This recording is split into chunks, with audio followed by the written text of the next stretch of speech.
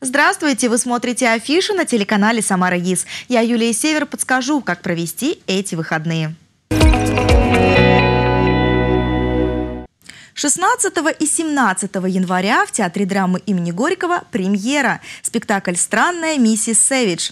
Главная героиня – богатая вдова. Трое детей ее мужа от предыдущего брака узнают, что она основала фонд, который тратит деньги на осуществление необычных желаний людей, делая их счастливыми.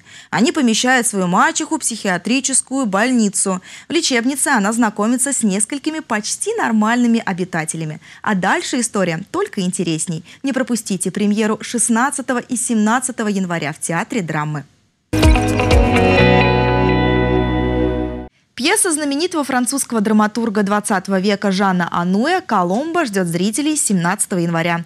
Завязка сюжета проста. Молодой бедный музыкант Жульен, уходя на три года в армию, вынужден просить свою мать, знаменитую актрису мадам Александру, позаботиться о его семье, юной жене Колумбии и маленьком сыне, которые остаются в Париже без средств. Мадам Александра берет Коломбу в театр. Чем закончится эта история, узнаем 17 января в театре «Самарская площадь». 17 января, воскресенье, Театр оперы и балета приглашает на оперу «Сивильский цирюльник». «Сивильский цирюльник» – не оригинальное название произведения. Поначалу опера называлась «Альмавива» или «Тщетная предосторожность». Премьера состоялась в Риме 20 февраля 1816 года. В Самарском же Театре оперы и балета это произведение живет уже третий год и не теряет своей популярности. Не пропустите 17 января.